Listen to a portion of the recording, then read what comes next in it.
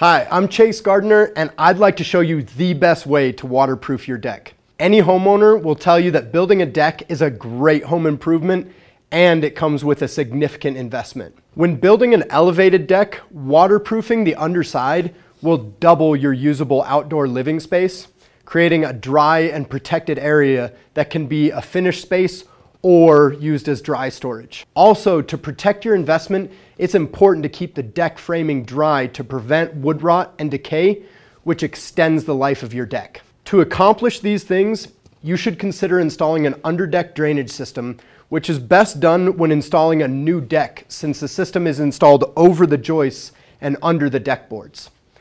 An over the joist deck drainage system, such as Trex Rain Escape, diverts water through drainage troughs and downspouts to a gutter system that then drains water runoff to the ground. It provides complete protection from the damage caused to the joists and other wood framing repeatedly getting wet. It covers and protects all the wood substructure and can be installed with any type of deck, whether you have composite or wood decking.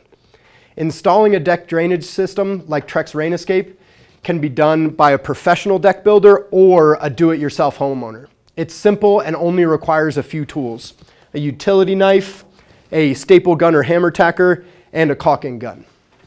Step one, you'll install the downspouts at the rim joist, at the ledger board, or at the beam. Next, you'll unroll the trough material using the inch and a half score mark as a guide. And on the second joist, you'll put a quarter inch of slope per foot. Installing the trough is the most important step since it's the waterproofing membrane that creates your drainage slope and collects the water that drips through the deck boards. After installing all the downspouts and trough, cover all your joists, seams, and framing with Trex Rain Escape 4-inch butyl tape.